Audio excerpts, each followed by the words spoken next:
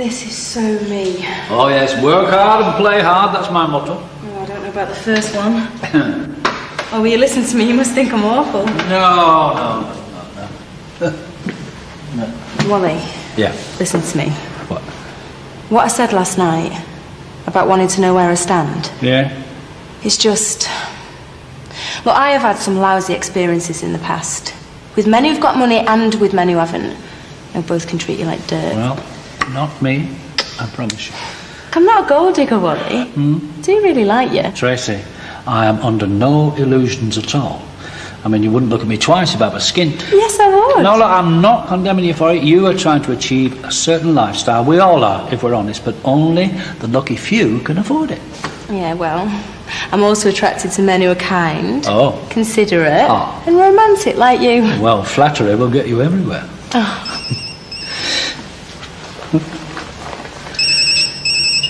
Hello, Listen, I'm going in for... Where are you? I'm at a friend's house. A special friend, or Just an ordinary friend. what do you mean? Well, you, you didn't come home last night. Look, are you checking up on me? Only to see if you're still alive. Look, I'm sorry, I should have rang you, I'm sorry. Oh, well, are you coming home tonight? Only we, we do still charge, you know. If it, Don't give us 24 hours. Come on in, the water... Mum, I'll ring you, okay? Bye.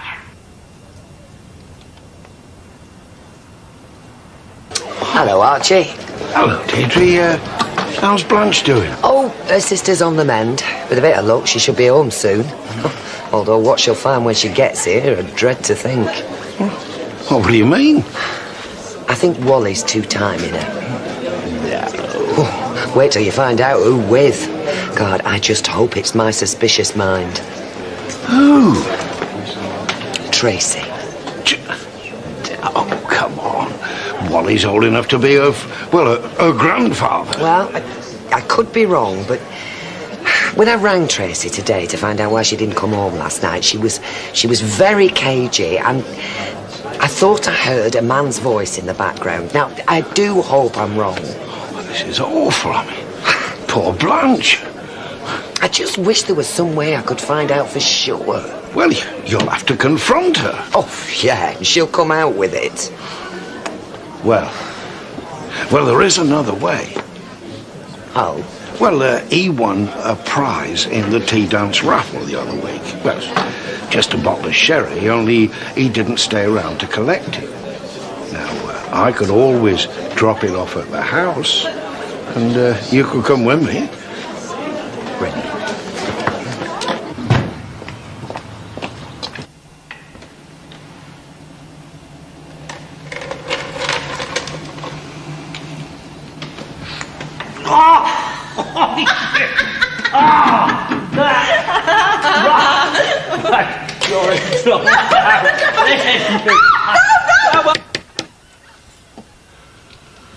Well, no answer. He, he must be out. Hang on a minute. I can hear voices. Listen.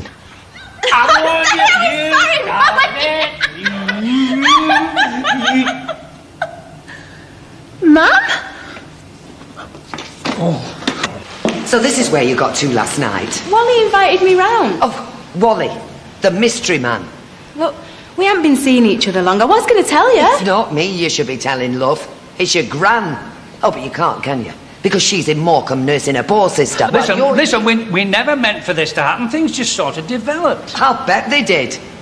Well, I'll say this for you, Wally. You've certainly got away with the ladies. I'm surprised you didn't try it on with me as well. You could have had the set. Look, I know you're going to think badly of me, dearie, but it's not how it looks. Oh, I'm sorry. Which bit have I got wrong? You being a randy old beggar who's old enough to be a granddad, or you being a gold-digging little tart? You know nothing about our relationship. I don't want to know. The thought of it turns me stomach. Look, we weren't doing anything wrong. God, I knew you had loose morals, Tracy. But pinching your own grandmother's boyfriend, that is low. Aw. Even by your standards. He's not interested in me, Gran, not really. Oh, I bet he's not. Not with a 26-year-old chasing him round the swimming pool in a bikini. Look, nobody chased after anybody else. The attraction was mutual. I know what the attraction is, Tracy. You know nothing about it. She's using you, Wally. You can see that, can't you? Well, some people might say I was using her. Look, I like Wally and he likes me. me. God, just look at her. No shame, no remorse. You brazen little hussy. Yeah? Well, if I'm one, ma'am, it must be in the genes. Cheeky No, don't hit me! Whoa, whoa, whoa, whoa! Lady, please! Just pack it Girl, stop!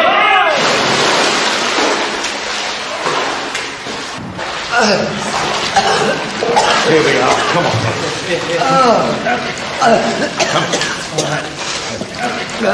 I don't care how wealthy you are. I think you're a disgrace. Archie, we're a couple, a proper couple. He's even asked me to be his companion. Joan? What, what are you doing back? The weather was rotten, so I came home. Who are all these people? Uh, oh, they, uh, uh, they're, they're, the they're friends of mine. Well, you'll have to ask them to leave. What would Mr. Lockwood say? Um, excuse me for asking, but who are you? I'm Mrs. Bannister. Who are you? Mrs. Bannister. I thought you said your wife were dead. Who's dead? I'm not dead. This isn't your house, is it? Oh, of course it isn't. It belongs to Mr. and Mrs. Lockwood. They're in Zambia. Oh, no. We thought you lived here. We live in the cottage next door. I'm the housekeeper, and he does the garden. What have you been saying to these people? Uh, excuse me, but I want the first pop here. You lying. Yeah, whoa, whoa, whoa, whoa. Look, look, I said you wouldn't give me a second glance if I was skint. How many more women have you conned? Oh, Charlie, it was just a joke. It- I just took it too far. It was only while the Lockwoods were away. You creep! Oh, you come near my family again, and you're a dead man. Oh, you hear? Don't worry. He's a dead man anyway. Oh,